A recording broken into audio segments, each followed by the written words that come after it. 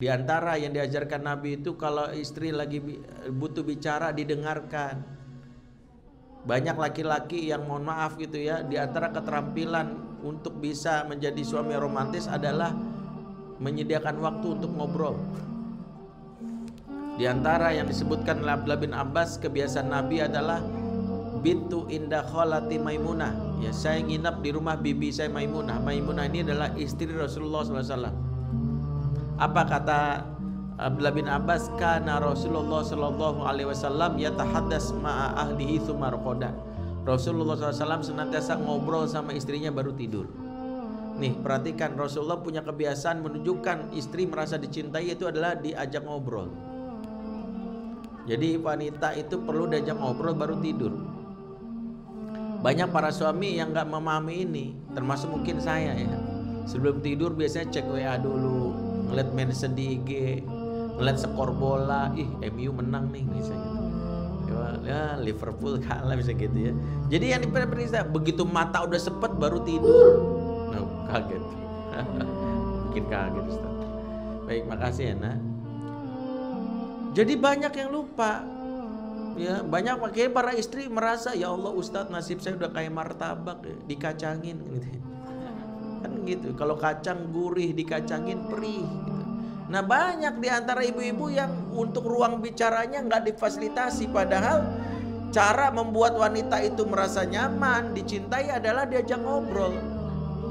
Kan udah sering ya riset menyebutkan wanita yang saat jiwanya butuh berapa?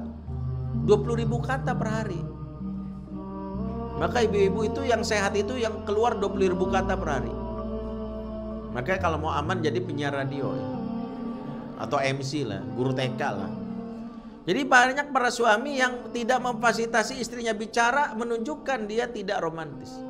Wanita itu wajib difasilitasi bicara setiap hari. Tapi enggak Ustaz, istri saya pendiam. No. Perlu kita pahami, sejatinya tidak ada wanita pendiam. Yang ada adalah wanita yang terluka hatinya. Jadi kalau udah wanita udah diam terluka. Jadi jangan GR kalau ditanya istrinya, "Mah udah makan belum?" Udah. Makan apa? Ayam. Ayam apa? Goreng. Itu lagi sakit. Wanita yang, yang sehat itu ditanya satu jawabannya seribu. Udah makan belum? Mau udah tadi kan mami yang goreng tengah jalan ketemu Betejo, Betejo cerita kata Pak Lurah nikah lagi sama janda sebelah. Itu yang ada di film KKN Desa Penari. Eh katanya dia ada di Banyuwangi ya Pak. Kita kapan ke Banyuwangi ya Pak? Perasaan tadi kita bahas ayam goreng deh. Kenapa ujung-ujungnya Banyuwangi? Itu sehat. Wanita kalau sehat gitu, ditanya apa obrolannya ke mana-mana tuh. Tuh wanita kalau sehat gitu.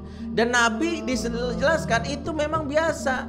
Makanya ada hadis menceritakan bagaimana Rasulullah kalau istrinya ngobrol itu benar-benar. Dan Nabi kalau istrinya ngobrol benar-benar direspon. Nih perlu belajar kita dari Nabi. Salah satunya ada satu Rasul menatap wajah istrinya. Jadi nggak ada ceritanya ada istri ngobrol sama gini. Iya, iya, iya. Oh, oh, ya, ambil, ambil, ambil, ambil. Nah, apa terserah kamu dah, nggak boleh gitu. Nabi itu benar-benar melihat wajahnya. Oh. Bahkan disebutkan dalam hadis riwayat Imam Bukhari kisah Ummu Zarra dan Abu Zarra bagaimana Rasulullah itu bahkan menyimpulkan dari cerita istrinya tuh bayangkan nih kele kelebihan tinggi nih suami-suami yang bisa menyimpulkan berarti dahsyat istri ngomong apa disimpulkan maksud kamu begini kan dan Rasulullah sabar menyimak bayangkan ada hadis judulnya kisah Ummu Zahra, Ummu Zahran, Ummu Zahrin dan Abu Zahrin. Bayangkan hadis ini menceritakan pengalaman Aisyah bertemu dengan 11 wanita tadi pagi. 11-11-nya diceritain ke Nabi. Bayangkan. Satu aja perempuan cerita udah lama nih 11. Makanya hadis ini saya nggak hafal saking panjangnya. Ya, ada sebelah diceritain 11 wanita tadi pagi Rasul uh, uh, Aisyah ketemu 11 wanita. Setiap wanita punya cerita. Diceritain ke Nabi, perempuan ini orangnya begini, bla bla bla bla bla. Perempuan ini begini, perempuan sampai sebelas bayangkan. Dan Nabi menyimak. Oh gitu, oh gitu. Rasul nggak sebagian laki-laki nyimak di bawah, tetap Toto kamu dengar gak sih? Dengar, dengar, dengar. Bahasa apa? BBM naikkan? Bukan. Kesel banget.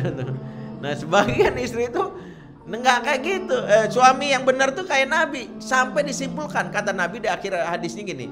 Sebagaimana Ummu Zarin dan Ummu Zarin dan Bazarin begitulah hubungan kita Aisyah. Tuh, tahu maunya Aisyah. Makanya wanita itu harus diperhatikan ngobrol. Itu, itu tanda dicintai ya perempuan tuh gitu. Ya, pentingnya memahami, pentingnya laki-laki romantis kalau ngobrol perhatiin. Karena kebutuhan dasar wanita itu adalah perhatian. Ya. Makanya wanita kalau nggak dapat perhatian, konon larinya ke mall. Ya. Karena di mall ada perhatian, perhatian.